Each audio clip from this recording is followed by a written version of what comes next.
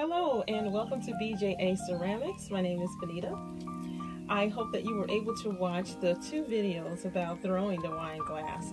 In the first video, I'm not sure if you remember, I threw the um, top part of the wine glass and in the second video I threw the bottom part of the wine glass. So in this video, I'm going to trim the top part. Now this is a different cup um, that I threw in the original, the first video. Um, I got a little busy and the first cup dried up on me. So I had to let that go and I threw another one. So this is a little bit bigger than the first one, but it should fit on the original stem. Okay, so I'm going to, I'm going to turn my wheel on and I'm going to center my cup. So before you start to trim, you want to make sure that you are in the center. Um, same rule as when you when you're throwing. Let's turn that quick.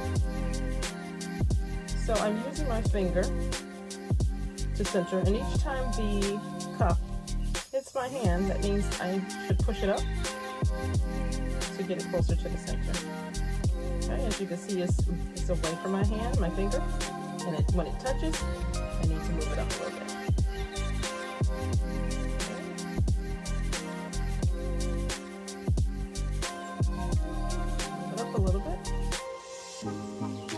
And you want to continue to do that until you are in the center. Because it's much easier to, to trim when things are... Okay, I think I'm there. Alright, so I'm going to use a couple strips of clay to just hold my cup down. And this will eliminate the cup from moving around so much as I trim.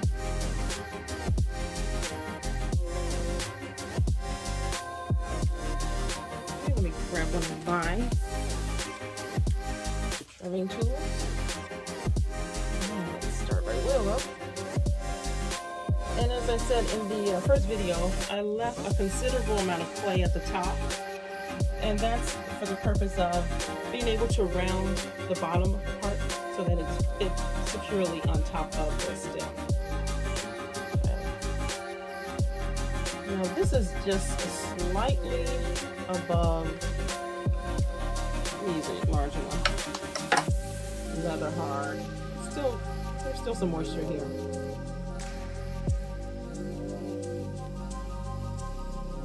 So I'm just rounding that off. Make sure I don't go too far down. I don't want to go to the point where I put a hole in my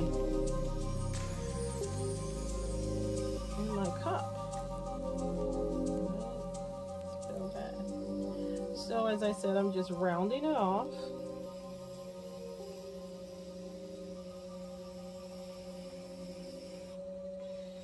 Okay, let me try another tool.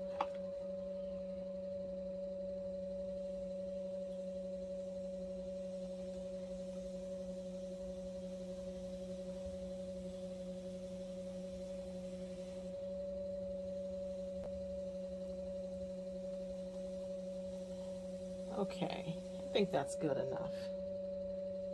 Just one more.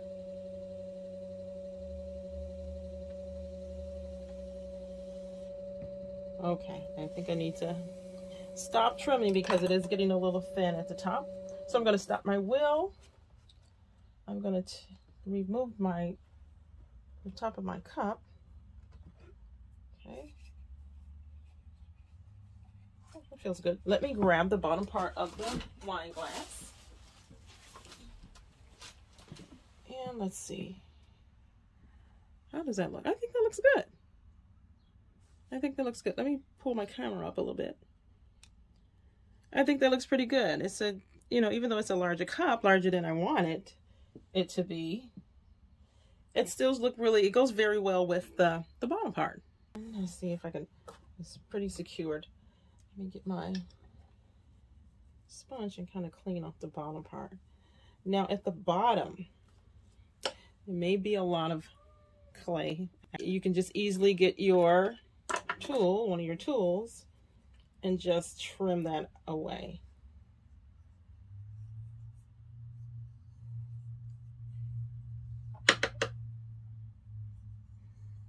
Okay. Just trim that away.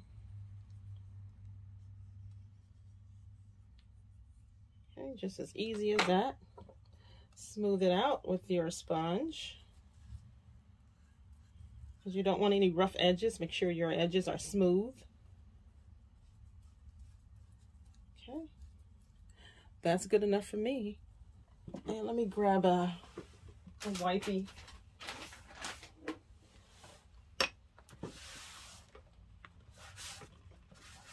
And clear off this, off this pad a little bit. You know, one thing about pottery, it's a very fun activity. It's a very fun hobby, but it is messy. It can get very messy.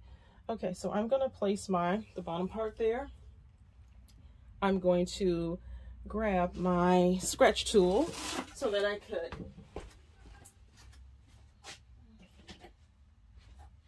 attach the bottom, the top to the bottom. So I'm scoring the top part of the stem here. Okay, I'll bring my camera over.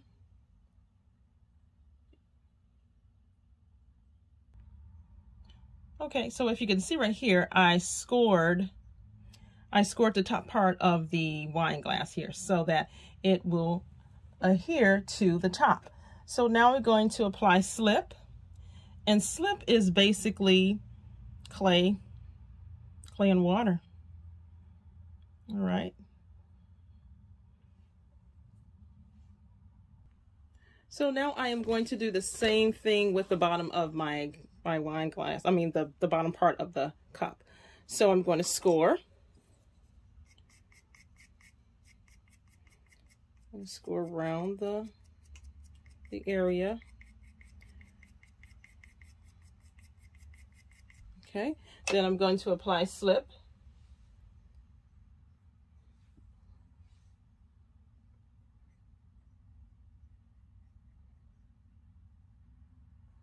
Put a little more around there. And then I'm going to attach this to the bottom of my cup. My wine glass. Okay. I'm just trying to maneuver my camera so that you can see that a little better. Just a second. Okay. So I'm going to make sure that's secured. I'm going to turn it this way as well. I think this way would probably be better to make sure it's on there straight. And if you need more slip, grab some slip, put it around the bottom parts.